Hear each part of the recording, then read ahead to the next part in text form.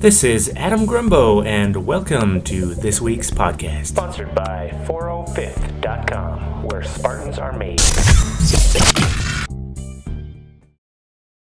All right. Well, uh, welcome to Adam's podcast week two.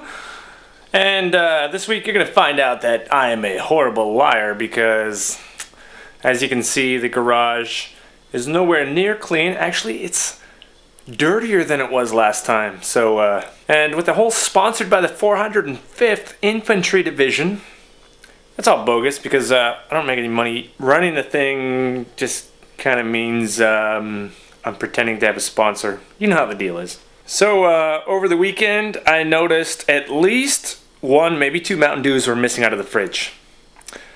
And there's only one person I can possibly bl- blame for this uh, tragedy, and of course, that is the TK. That's right, my friends. The stormtrooper is fired. He did not do his job of protecting my crap while I was at work. So he has been stripped of his armor completely. And as you can see, it's pretty embarrassing for him. He hangs his head low.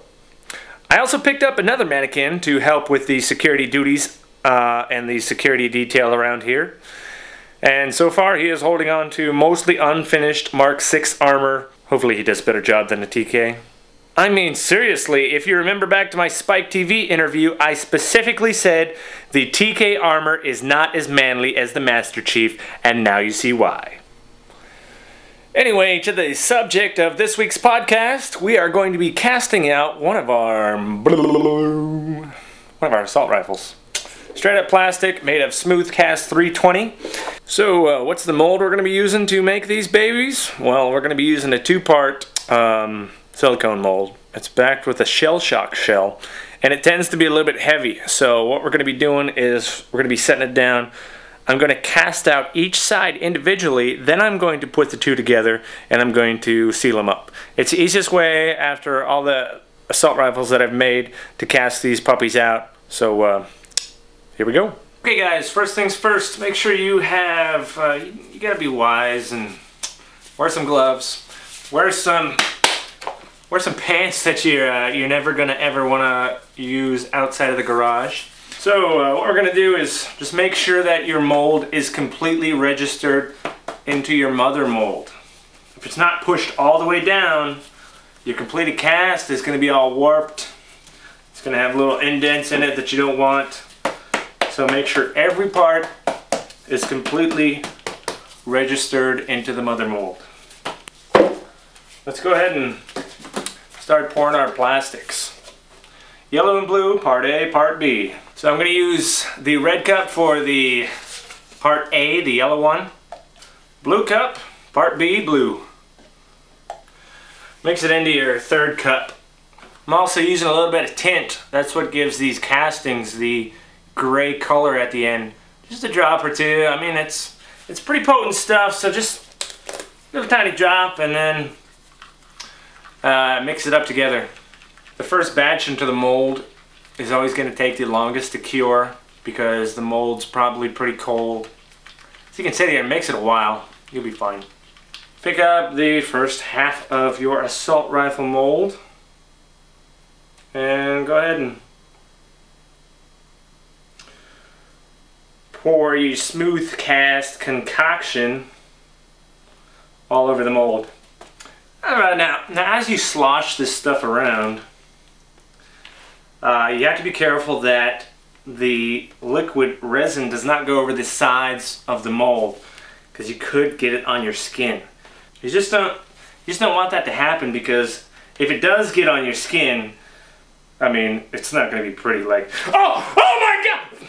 You know, it's not going to be like that, but uh, eh, it's going to be a little bit warm. You know, some people might actually develop a little bit of a rash because of it. So be really careful about getting it on your skin and on your clothes. You just don't want it to happen.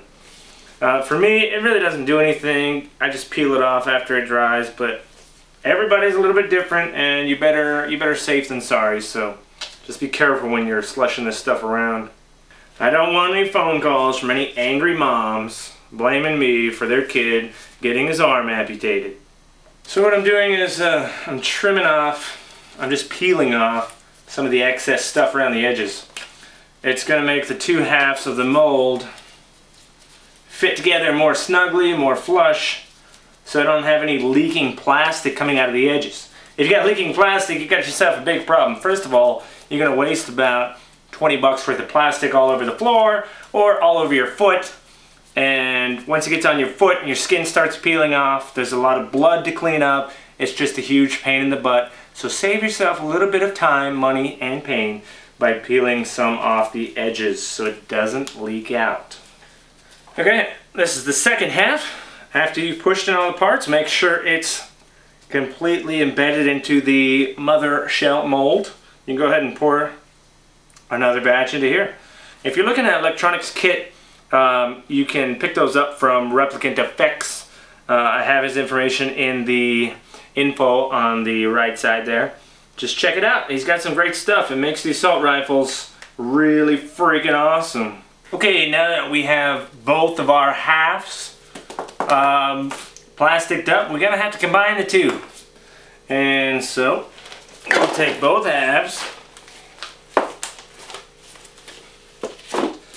stack them one on top of the other, and strap these babies together as tight as we possibly can. We're talking silk scarves to the bedpost tight. I mean tight. Because if it's loose, you're going to have plastic leaking out all over the place. We don't want that. Uh, and keep it tight enough so nothing leak leaks out onto my foot. Not that that's ever happened before. Uh, it's not like I've ever poured plastic on my foot and lost all the hair on my toes pulling it off, but you know. I'm just looking out for you guys. So now I've got the spout up here where I can uh, pour some more resin into. But uh, this is the tough part because when you got little swizzle sticks for arms, you can't lift this thing, it's like 40 pounds. Alright, uh, mix yourself up another batch, batch of plastic and uh, pour it into this top hole. Make sure it goes all over your legs and drips down to your feet and so we're just gonna rock it back and forth on my knee here. Take the uh, take the weight off of my little noodle arms. Oh, and that's fantastic news. This was a brand new shirt and I just got plastic on it. Woohoo! Okay, after you've poured enough plastic to fill the seam around the assault rifle, you're gonna have to wait at least a half an hour, maybe an hour for the plastic to completely cool. Because if you try to take it out of the mold before it cools, it's to sag in the middle and you're to just have wasted about an hour of your time. Um, well, while we're on that subject, a lot of people are probably going to ask me, can I has assault rifle for $20? And the answer to that's going to be no. The materials to make one of these one of these raw castings is about $50 worth of plastic and about an hour's worth of time.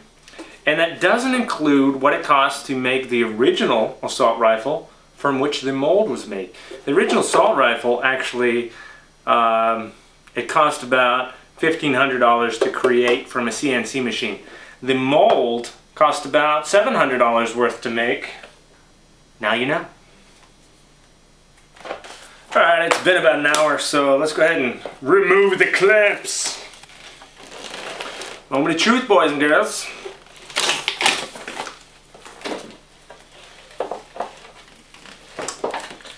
Alright.